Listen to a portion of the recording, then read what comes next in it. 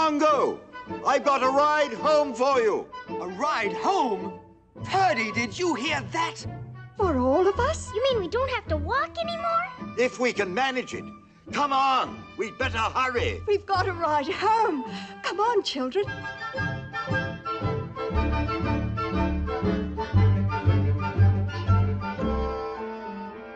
See the van down the street? It's going to London as soon as the engine's repaired. And there's room for all of you. Pongo, there's Cruella.